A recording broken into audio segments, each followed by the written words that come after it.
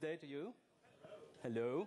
Um, my name is uh, Kjartan Emilsson, and uh, Atle is also going to uh, talk a little bit later. Um, so, um, what I do, uh, I actually, originally I was uh, lead game designer of Eve at the start, 2001, and uh, was uh, responsible, amongst other things, to do the seeding of the universe and sort of create it. And uh, then I, I, took a stint away, going to Shanghai for five years or so, and uh, came back to Iceland. I'm, I'm now handling the uh, sort of the MMO design of Dust, and uh, a lot of that development is actually happening here in Iceland because it integrates with Tranquility. And uh, some of the things that uh, I'm being faced with is to basically uh, go back a little bit to uh, how do we integrate dust into Eve, the, the fabric of Eve, so to speak. So uh, that is basically the subject of this uh, presentation. So this is this is my day job. we start with the universe. Uh, where we, I mean, there are all kinds of seeding decisions that you need to make when you're, you're sorry? Uh, there are all kinds of seeding decisions you need to make when you uh, create a universe. Uh, one of the things first is to sort of get an approximate size of the systems you want to have. How many systems? How do you want to, to create regions and uh, the uh, sort of what function is it supposed to have in terms of travel and distances? And then within the solar system, what's the level of detail we want to achieve? The resource distributions, the uh, security status landscape, um, and then down to the planets, where we're basically now is sort of we're we're sort of like bringing our focus to the planet. It had already been done, of course, with planetary interaction, but these are more what we need to do for the planets for the purpose of dust, and how does it show up in Eve? And uh, just for fun, actually, when I was writing this presentation, I thought that uh, maybe for those of you that haven't been at previous FanFest, uh, it might be uh, fun for you to look at some old stuff that I dug up. So, uh, one of the questions originally that I had was, you know, how do we create this universe? And I mean, I know we have to have stars and solar systems and stuff like that, but you know, how do you link them up, and, uh, and why is that like that? So according to the storyline, they, there used to be like uh, these systems which were like closed off, and then they discovered like faster than light travel, and suddenly they could jump around their home systems, and that was like the seed of the empires. So it sort of made sense to think of like the, the empires building up from, from a single point and sort of growing to the next system you could reach, and from there you could reach other systems. And uh, me being a chaos physicist and all, that reminded me of something that I had seen in my studies, and I hope this works. This is like uh, aluminum dissolving into sulfate or something like that. I don't know, it's chemistry. But uh, it, it's basically, a, uh, it forms like an aluminum crystal. And uh, the, the funny thing about this is that uh, the way you simulate this in, in physics uh, sort of reminded me of the purpose that we wanted for the Eve universe because there is a uh, type of algorithm or method or algorithm that is used to simulate this kind of crystal growth, uh, which is called diffusion limited aggregation. And uh, I'll explain it to you a little bit. The way it works is that you, you have an initial seed of, you can think of it as a, some kind of sticky ball and, uh, and then you define a, a radius around the, that ball. And then you, you, you randomly put another ball and let it do a random walk within that sphere. And uh, if it goes out of the sphere, you just ignore it, you start with another one. But eventually, it will hit up with another ball and stick to it. And as it grows like that, it sort of grows into a, a crystalline structure like this. And uh, that's when I decided that this would be a cool way to create a universe. And uh, here is actually the program, the tool used to create the universe. Can you all see this? Yeah. So basically, this is the empty void before anything happens. And uh, now let's start with Amarr or something. I just took a point here, and it's it starts growing. And I just pause it a little bit here. So you see that uh, here I also introduced some slight logic to, to actually fragment this into constellations. Uh, but then you, you can see how it grows there. And then I can stop it like that, and then maybe add a, another seed.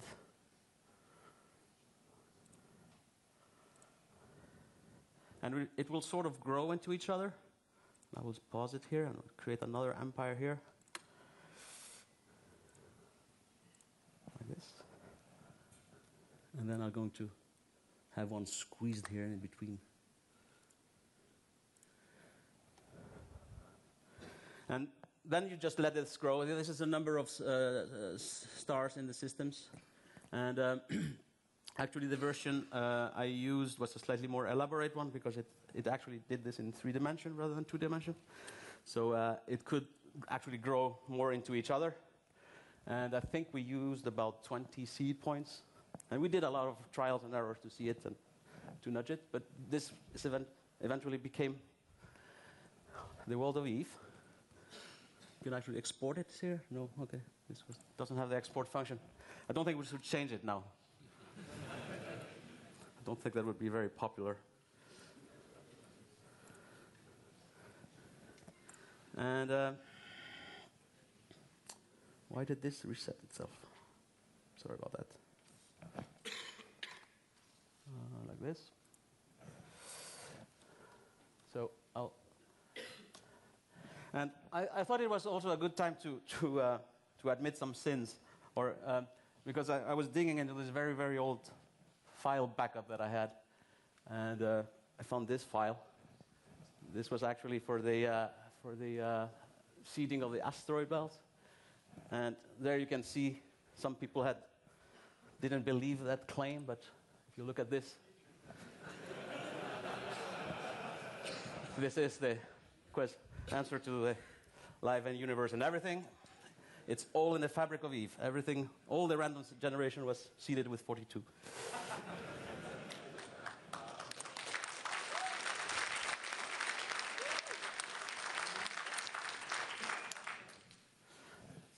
And now, that wasn't really a sin, but the next one is. Uh, I'm not sure if you will spot it. Anyone spot it? So basically, it was funny. in 2003, when Eve came out, we started hearing rumors on the forums like, you know, where is this Arkonor ore? Have somebody seen it anywhere? I mean, this must be very, very rare. And he said, we said, yeah, it's very rare. It's difficult to find it. I mean, you have to really go far and fetch it, see it in the belts, or maybe it's all mined up. and uh, then the, the rumor got more and more persistent that it was really, really rare. And uh, that's when I found out that I made a spelling mistake. so it actually didn't seed. So uh, that was embarrassing, to say the least. But it's there now, so. But uh, this is part of things that needs to be done here. Like uh, these are uh, distribution factors that we, we were looking at uh, originally, and also when we were doing this seeding of asteroid belts. It was this kind of problems that we have in seeding is like, you know, we, we, we use minerals the, as the composition of items, and then we, we sort of implied a certain scarcity of these minerals, and then we had to reverse calculate that into ores, and then we have to reverse calculate it in what kind of distribution of ores would, in the end, bring that scarcity profiles of the minerals, and then try to, to, to uh, sort of distribute it across the universe in a way that followed some security status kind of profiles. So, um, but this is all, all old history. Um, so I'm going to go uh, back to uh, our planets. So, uh, what the goal that we had for the planets here was to basically how do we strategize the, the planet terrain. Um, and uh, also you might say that it's already there is a, also a strategic element element to the planet terrains through planetary interaction, but here we actually wanted to to have you know a terrain and boundaries which you own, not like in planetary interaction where it's basically single players, not corporations, and they can sort of be on top of each other. So it doesn't create like a a sense of ownership of a piece of land. And uh, so uh, it's basically a question of, of, creating those districts that we call on planets. And um, the, the, the, districts are uh, really, uh, we decided, originally we had the thought of sort of tiling the whole planet with hexagons because they look cool. And we still use the hexagons here because they somehow, it, it must be hexagon in sci-fi. Uh, but uh, we decided not to tile it because uh, if we wanted to tile it, we had the problems that if we had to have a reasonable amount of, of districts on the planet, the districts would need to be huge, like continent size. And we didn't want that. So, uh, so we decided to, to uh, actually have just uh, like a place, the, the districts on the planet themselves, with a radius which we haven't quite determined yet, but we probably want to have around 10 to 20 districts on a planet.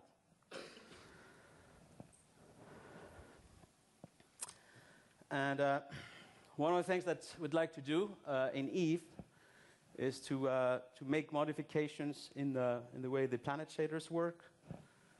Because already you have seen cities on planets. Uh, and what we want to do is to actually then make that coherent with the districts on the planet. So you would be able to visually look at the planet and see its districts by looking at those structures. Those are pretty clear in, uh, on the nighttime, but uh, we need to find a, a, nice visual way to make it visible in the daylight as well. But that's going to be solved. And uh, it was very important for us to also like give the impression that uh, the, uh, the planets are alive, there are people there. So uh, the, if there's a, a dust battle going on in that district, you should be able to see some kind of flashes and explosion. So that, you know, if you're just flying by, you're not participating in any of this. You're just flying by and you look at this planet, you see like, ooh, there's a lot of things happening there. And it's actual people that are doing stuff there. And, uh, and war barges also shown somehow like this. Uh, there, there's a lot of questions about the war barges, obviously, because they are kind of supposed to be a ship, and that means that it should really be in Eve. Uh, and it probably will be. But at this point, we don't want to, to, uh, to bring that complexity into, game, uh, into play. Uh, we want to be able to control a little bit the user experience within Dust, and having a Eve player destroy your war barge is going to be very disrupting, especially once you can't fly yourself. So going back to the districts, uh, you can uh, the idea there is that they they can be owned by corporations. And uh, the function of a district is going to be determined by uh, what we call a surface infrastructure, which you should think of as something substantial. It's not like a, a little house. It's basically because the districts are like large, it's like 200 kilometers. And the idea is that there is an urban center there, even though you're not, we're not playing into that. That would be yet another game. But uh, the, uh, there are cities and people there, and the, uh, there is like a function to the districts, which might be, the, might be like you know some kind of re refinement or uh, uh, production facilities, research centers, etc. And uh, so assigning a surface infrastructure to the district is, is, part of the gameplay, and that that is part of the uh, sort of sandbox gameplay of Dust, where you as a corporation would actually go on a planet, you claim a district, or you fight for it, and you sort of improve your district by deploying a surface infrastructure on it. And uh, then uh, there is uh, questions about uh, how do we seed uh, the, the districts on the planet. There is a small problem, or not a problem, but you know we have to face certain realities. which are basically restrictions that we have because of memory and, and such memory footprint on the PlayStation. So uh, we decided to only go for temperate planets for now, because we can't really have, you know, environments for gas planets or something like that, which would be strange floating districts or something like that. So uh, we, we sort of uh, decided to, uh, to, to uh, limit ourselves to temperate planets. And uh, we also have a, a, a distribution, uh, uh, we need seed a distribution that will depend on the security status. And uh, for example, in HiSec, we will seed uh, the districts with uh, NPC owners. And the HiSec districts will essentially be fought over by Dust mercenaries through a like a quick match-made games. So, so these are the, the, the sort of game modes which you would be accustomed to in terms of a, a normal FPS. You just go into a game and you get match made, and these these battles actually happen on a district in HiSec. You will be able to see it from from Eve, but it's not you know it doesn't have a meaningful impact on it. It's pure pure NPC stuff. Um, then we have the uh, the uh, factional warfare space where we will have, uh, again, NPC, but there it is uh, uh, slightly more integrated because it integrates into the factional warfare mechanism. And, uh, and then the, the idea is that below that, low second and null sec is going to be all unclaimed districts up for grabs. But we're, we're, sort of like all of our approach with Dust is really we, we start uh, with the FPS and we start with the NPC aspect of it. And, uh, and then we see, like, you know, depending on your reactions and, and, and how it all goes, then we, we gradually want to move towards the sandbox gameplay. So um, again, coming back to, a, uh, to uh, some of the, uh, the uh, problems we have uh, with the environments, to create all these environments for these, I think there are about 7,000 temperate planets Eve. Um, we have to, to find ways of creating a variety without actually having to design 7,000 environments, which are very expensive to do. It's much more expensive than designing sp empty space like we have in Eve. So uh, uh, we needed to find some clever ways to, to do that. Uh, another thing that we also need to uh, interact with is basically the, the, current planet shaders. They sort of define the, the, the land mass and, and, sea levels of the planet. Uh, and, and these are actually some kind of terrain. You can't really see the elevation from, from far, but we cannot, we, we cannot uh, replicate those terrains everywhere uh, on, the, on the PlayStation. So uh, one of the things we need to do is to uh, select good spots on the planet, and we have some algorithm to do that, to, to like automatically find some interesting district locations. And then we need to sort of interpret the, uh, the planetary uh, parameters, like, uh, uh, for example, is the district close to the north or south, or is it close to the equator? Is it close to sea? And uh, so you have all kinds of, of uh, like uh, environmental uh, information that should then guide the, the, the, the, our system that I will describe here, which we called Galaxy, to actually choose the right combination of available content to sort of create a, a variety. So at the base level that we have our height maps, uh, this is kind of the, the most elementary part. And one of the reasons why we couldn't really use, because like if you take the, uh, the terrain on the, the planets, they are kind of uh, procedural, or they are kind of mixtures of, uh, of uh, different landscapes, so you have actually quite a, a random factor in it. Uh, but that is kind of difficult to do from a level design point of view in an FPS. You cannot just use an arbitrary terrain because it wouldn't make sense from a battle point of view. So the, the terrains are usually chosen in such a way that they sort of uh, uh, make sense from, uh, from an FPS point of view. So uh, they need to be handcrafted, or at least to a very large amount. Uh, but they are pretty big. I think the, the terrains are five times five kilometers, is that? Yes. Yeah. They use some mega terrain uh, texture system, so it's, it's really large terrains. Um, so you would usually uh, select a, uh, a, height map to a district. Uh, and then for a given height map, uh, the level designers actually define uh, slots for structures. And uh, it comes in, in basically three sizes. And this is unique for a given height map. And you have like, you have the placement of, of, these slots. These are empty slots and, and basically come in, in these three sizes. And so the big ones, which are called outposts, these are the, the real, like, uh, you know, uh, epic structure of a district. They define the structure. And, uh, and then they have some side, side structures, which are like this network of medium and then up to the small details of the terrain. So uh, uh, these can be plugged into any kind of, uh, for any given outpost can be put in any big slot. So you could have like multiple terrains and you could choose to put the outpost on this here.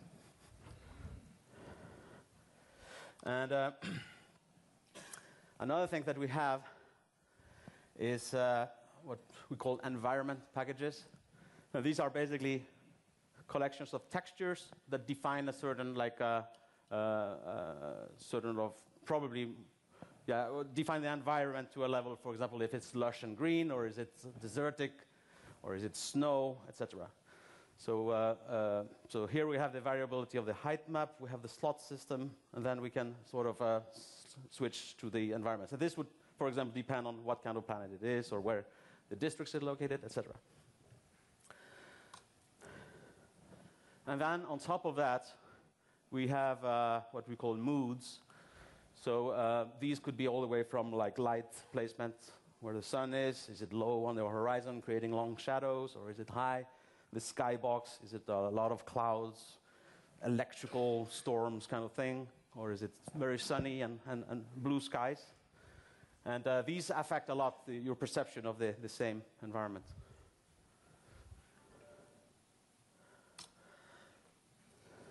And uh, then for a given surface infrastructure that you, like I said before, you apply a surface infrastructure to a, uh, uh, to a district, then there is an authoring that says that, uh, okay, this kind of, like, for example, a production facility, we will put uh, out the outpost number 57, which is a graphic asset that we have, put it that in a socket zero, whatever socket zero is on this height map. It might be different depending on the different height maps, so it will not be at the same spots.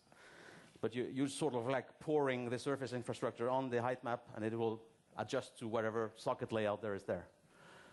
And uh, so, even though you have the same function, they would adapt to the different, different terrain, and then you have the different environments, etc. So this is sort of the big ugly picture of it, and uh, uh, this gives us a certain level, like I said, of diversity. And of course, we would like to be able to have like unique terrain for every single planet. But I mean, it's not at least realistic to do that now. So uh, this is the, the path we're going to use.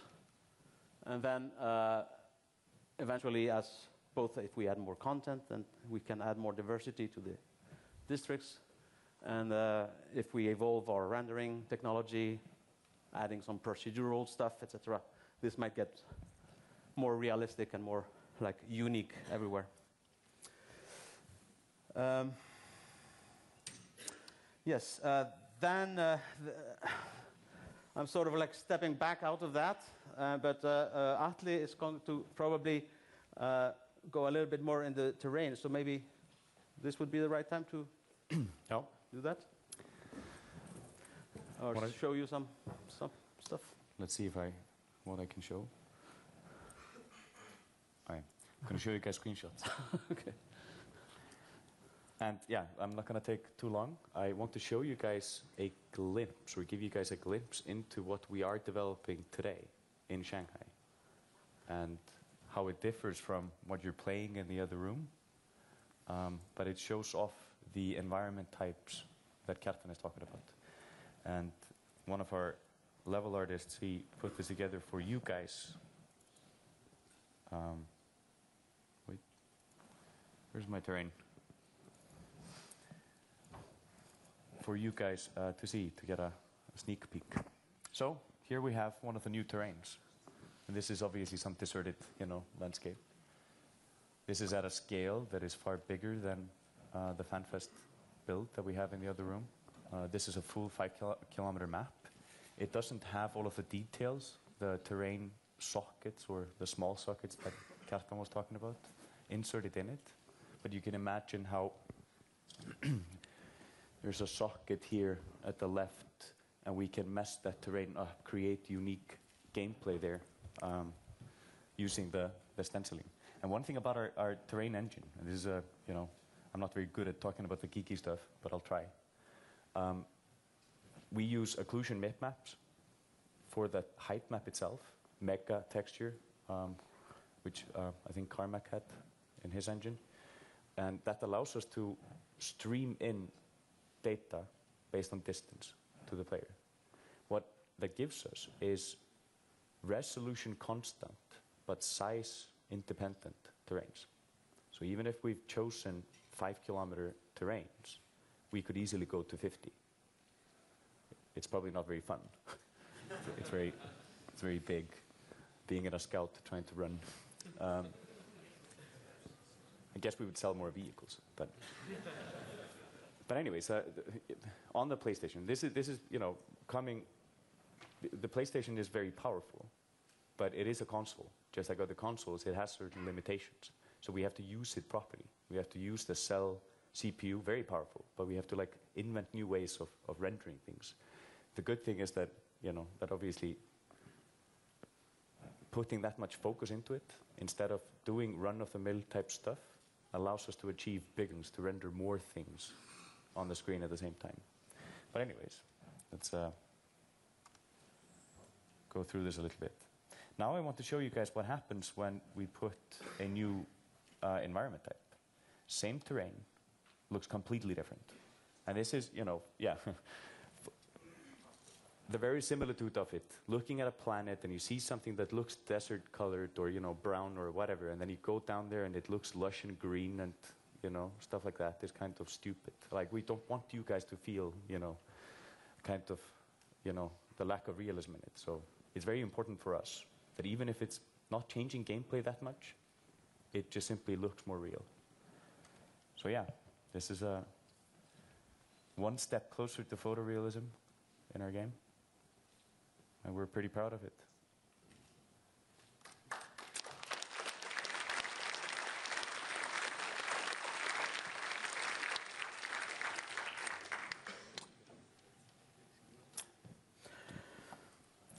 Yeah, uh, I wanted to mention this, uh, though it wasn't really my purpose to go into, you know, this gameplay part of it. But uh, it's part of the the uh, the way we we uh, seed things. And here's uh, an example from that we're envisioning for factional warfare, where you basically have a district pre-seeded on the planet with a what we call a surface command center as a surface infrastructure deployed on it. And the surface command centers are like kind of unique uh, surface infrastructure in the sense that you can only have one district having that kind of structure on a planet. And so it sort of defines your control of that planet. So it's pretty important. And uh, the idea is that you then have a, a, a sort of matching structure out in space. Uh, could be customs office, but we usually refer to it as orbital command centers to sort of make it sound similar. And uh, they sort of uh, have a, like a, a, a- like a when you have these alliances, like basically the owner of the districts on the surface and the owner of the orbital structure, when they are chums, however that is defined, uh, we call it that would be some kind of treaty between them. Uh, then they, they sort of help, they, they live in symbiosis with each other. So in this case, for example, and this is an example of these different maps that we have with the different sockets, is that the, the uh, and that's also something that maybe I didn't quite mention well enough, but uh, with the, uh, these height maps that we have, we can also define like, uh, we call it, like- call it hub and spoke. So the hub is really where the outpost is. That's the main map. But then you can have like auxiliary maps, which are sort of supporting functions to the, the district. And in this case, we have an uh, auxiliary map, which is an orbital artillery installment. And what it does actually is providing defense to the orbital structure. So uh, if there's any enemies that are going to try to take over the orbital structures, they get fired upon. You can imagine as a turret, except it's on a surface. And uh, so in this case, the, the way that you would actually uh, uh, silence that gun would either to go, uh, or you would always try to go with the infantry and, and try to, to silence it, but orbital bombardment could also switch it off. So that creates sort of a nice interplay together of the surface and the, the orbit. This is still all NPC, uh, uh, of course, uh, seeded, but this is sort of the way we, we're envisioning that take it forward towards uh, uh, towards uh, sandbox gameplay. And uh, and also note that contribute to sovereignty in this case it is in the meaning of the factional warfare sovereignty. It's not not the uh, not the nullsec sovereignty. So yeah, I think it's uh, probably time for questions if we have. And there was somebody who suggested that if you have questions, it's probably better to go in line to this microphone because otherwise people will have problems.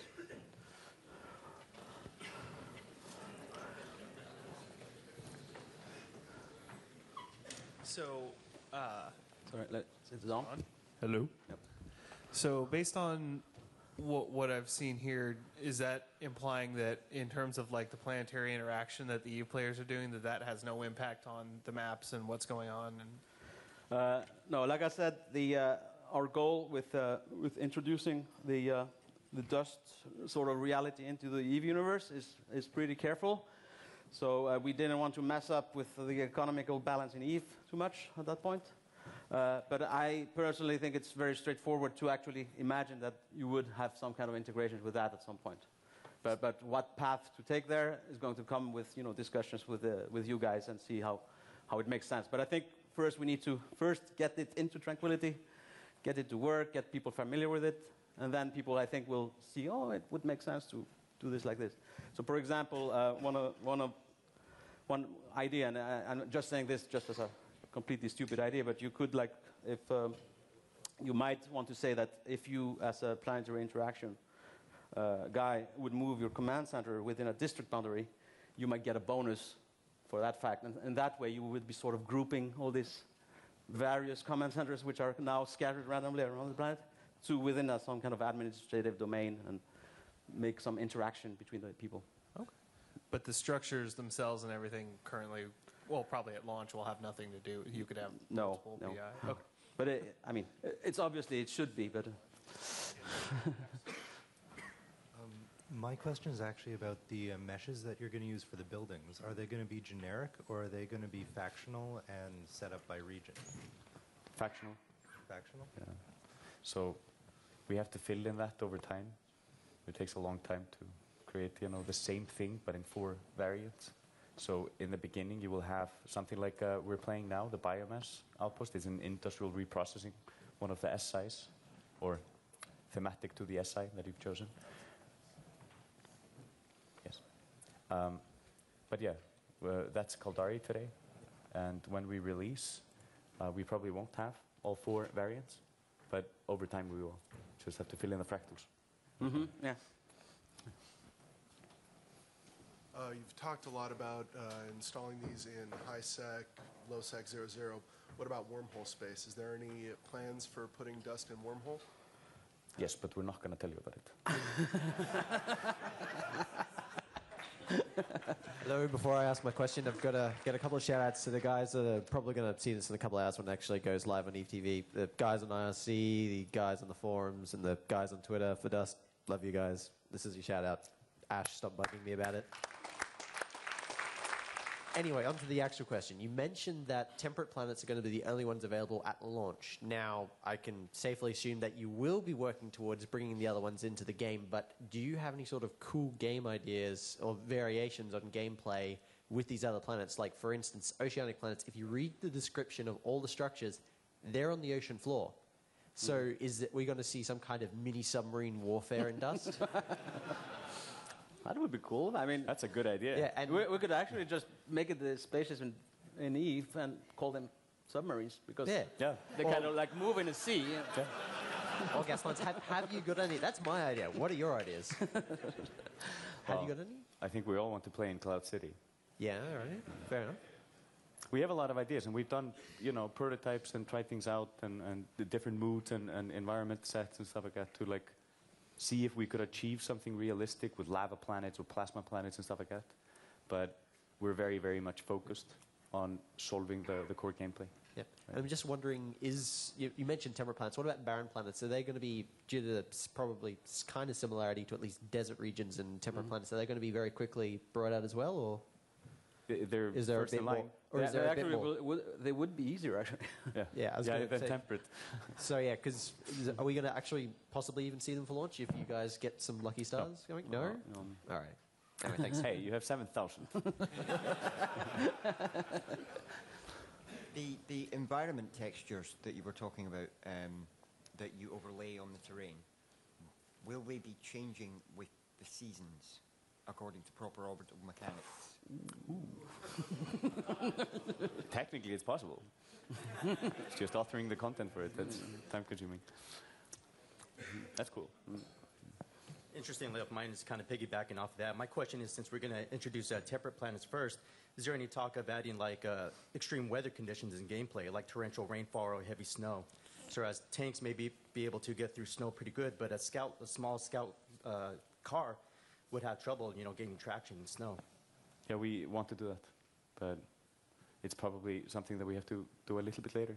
It's, uh, it's not core gameplay. It's uh, like an added thing, expansion, some. in the future. Soon. No. soon, yeah. TM, not the other soon. Are you going to implement uh, uh, with the size of the planets with gravity, jump length, and things like that? Hmm. Stamina, stamina with different atmospheres and, and things like that. Like if you are in a small planet with lesser gravity, then you can jump further and things like that. Move the vehicles faster if, uh, if the atmosphere is thinner. We will definitely get there. But I mean, like we, just to make it very clear, we are going for a fairly standardized when it comes to gravity and, and like atmospheric conditions and stuff like that to begin with. And it's more about creating a system that allows us to pile on these in- ingredients and, and you know populating or seeding the universe with all of these parameters. But then once we have the core gameplay, all of these Yeah. elements and so on, we will get there. Like we will. I, I think the generic answer to this kind of questions is that, you know, as much as you are, we are fired up about Yeah. being able to do everything.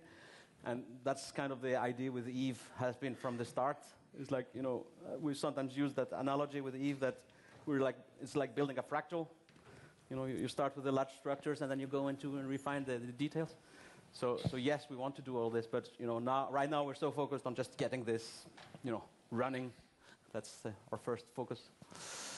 Thank you. Thank you.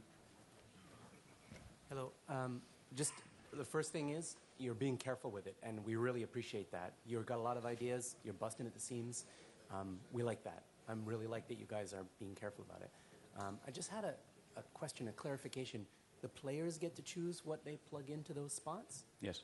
and so maybe I choose a layout and then I apply it to a map, and then I apply it to another map. And then Oh, map. oh, oh, so you mean into the individual sockets that are around, uh, you know? I, I choose what my large, medium, and small is, and the map chooses. No, No, no, You no. will be able to influence, obviously, you know, what surface infrastructure you ch- But currently, it's just this is like a quality of the surface infrastructure. Infrastructure. What structures goes into the sockets. So, but uh, but I think on the battlefield you have the installations, right? Which are Yes. which are kind of structures, but they're more like uh, within Ad a match. Yeah, Yeah. they're not persistent structures, but you can deploy them, and they are big. Like they are, they will shape the gameplay, and you know, For extract resources. You know, match? do all, yeah. Th- you And know. they stay there until someone busts it up and replaces it? Well, they, they don't persist there, um, not now, but you know, that idea has been suggested that maybe we Capture, could just V, have. a- destroy, you know? Yeah, but the, I mean, the goal is to blow it up. For the other one. Thanks. Uh, you made mention of seeding temperate plants. How is that going to affect um, systems that don't have temperate uh, planets currently in the system? That, I think that's okay. I mean, they, uh, there are even systems which are lots of temperate plants, actually. We found some systems which are four or five. It's kind of surprising, actually. And um, Was it a spelling mistake? I think it's. but uh, I think it's. Uh, I think it's okay to have this kind of variety where you know sometimes for some fluke reasons you don't have anything. So we just make sure that the game design is not relying on that to be there, to the point where you know well it's not there, so we can't do this, for example. So would that mean eventually, maybe down the line, expansion or such, you guys might add the additional planets to add maybe some some warfare in some Yeah. other areas? I Don't- think I think there are a lot of Eve players that wouldn't like the idea of adding planets just like that. I don't know. Well, no, I'm not talking like adding planets, but other Oh, types yeah. of planets. Oh, oh. Yeah. Like uh, barren planets, for example. Correct. Yeah, oh yeah, we, yeah, we sorry, will yeah, yeah, absolutely yeah, add more. absolutely, yeah. All right, thank you. Coming to orbital bombardment, um, they seem very impressive, but is there going to be any sort of lingering damage for those? Could you, say you wanted to just burn the Earth, could you uh, just glass a district to nothing, and then it would be, it would take a lot of resources perhaps to rebuild it? Would you guys like it? See, we're going to work with you guys on defining all of this. Burn the Earth, right? Scorched But, earth, but, yeah. but, it's, but, uh, but then you but then you have to accept the fact that the orbital artillery that is going to shoot at your Titan might be very powerful. yeah, we can't only give you big guns. Yes, that would be, that would be completely acceptable. Also, um, with orbital bombardment, so far we've only seen them with dreadnoughts, um, or I guess it was, yeah. What, what, was it? It was a oh, it was a battle. I- Well, you, if you're referring, yeah, the trailer, that was a bigger one. Right, and so that would have had a much more devastating impact. Um, are there plans to do um, fighters and fighter bomber strikes like they hinted at in the trailer? Or is that still very far off or not being considered anymore? Well, basically, we, we see it as a curve of you know coolness factor going from cool to, to awesome, and you know like we're somewhere. Right now, we're just looking at the middle part, and because we, we don't want the gameplay now to be such that you just wipe out the district, and uh, at the same time, we still want the people that are doing it to be somewhat involved. But we're definitely trying to look from a game design point of view. We're looking at the whole you know spectrum. And if you're interested, I think there is a uh, I'm participating in a roundtable tonight around orbital warfare. Yep. And I guess I don't want to hold up too much, but I guess my idea for the, uh, I was thinking like fighters could be used for very strategic strikes against perhaps vehicles and such. Those uh, battleship artil- strikes were good against local mm-hmm. groups of, you know, soldiers, but then like dreadnought or above, Yeah. things, those, those would like just, I guess, eliminate entire s- swaths of mm-hmm. territory, something like mm-hmm. that. And kill everyone in them. including your team. Yes, including your team. Now, with some of the planets in Eve, I'm sure you may have heard this from people before, but some of the planets have very interesting stats given in game when you go show info, such as lava planets that are frozen solid or temperate planets that have virtually no gravity. Are you going to fix up these numbers with dust? Or are you just Uh, going to make it that eventually, when you do add those factors in, like gravity, that it's going to be you jump and you just fly into space? Well, I don't know. Like you know, I've been reading on some weird planets or moons recently. Like you know, I- there, I tried there are some get them to moons which are- which have volcanic activity out of water, or something like that. I'm not talking about the real in Yeah. reality. And so you know, you could sort of, I think, justify some of these oddballs from. yeah, but frozen lava planets? Yeah, because what kind of lava is it? Is it does it methane lava or? All right, all right, I'll give you that one. But still. if there are instances, though, where we find things like that, Yeah. would you change them or would you just leave them as is?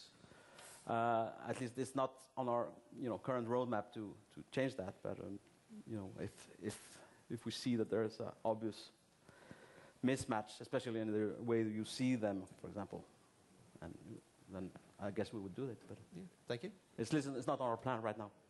But Captain has the power to change it.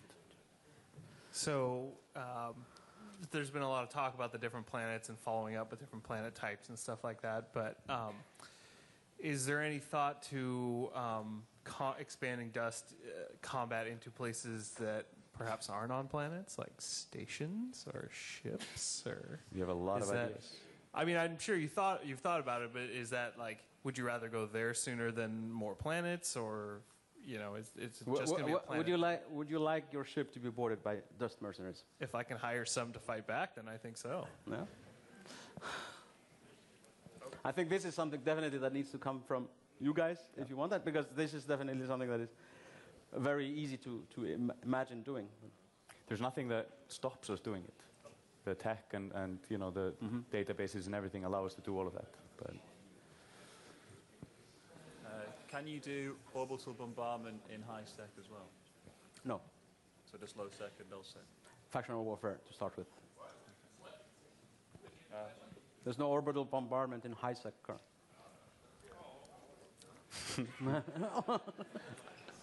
When it comes to orbital bombardment, uh, when we saw the, uh, the demo, the Abaddon and the, uh, the other battleship, Mel- Maelstrom, they warped into the same spot. Now, the planets rotate. These battles might be on the far side of the moon. Are we going to have to, are we going to, like, will the mercenaries give us a bookmark to find where their target is, or are we going to have to travel around the dark side of the planets to find these battles? Actually, this is a very good question, uh, which I won't answer because, uh, and it is truly a very good question because we, we've, uh, we're, we're like looking at this, and it, it is a problem, and we're trying to find some like elegant way to solve it, and uh, we might not be able to to to uh, solve it completely to the point where it's acceptable, uh, like from a realistic point of view. Because it, it looked like the Abaddon was stationary. He, he's Yeah, yeah, stationary Yeah, for the, the strike. So, Mhm. you know, he's, he's got to get Mhm, himself in mhm, position. So, mhm. how are you going to deliver that position as the planets are Yeah, rotating? yeah, yeah, the yeah, exactly. be? You know, in, in the perfect world, we should have, we, we should really have orbiting structures.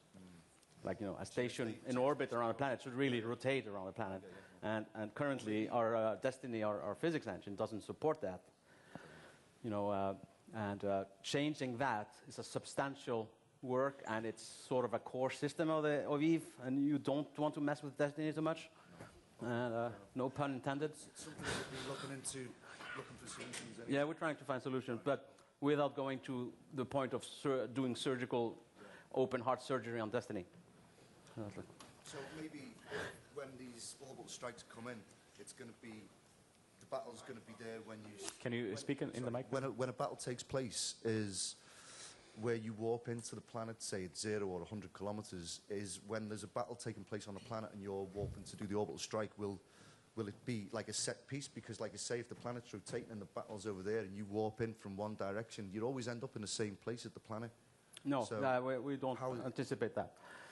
But, but maybe uh, because we're running out of time, there's a, uh, but there is an orbital warfare road.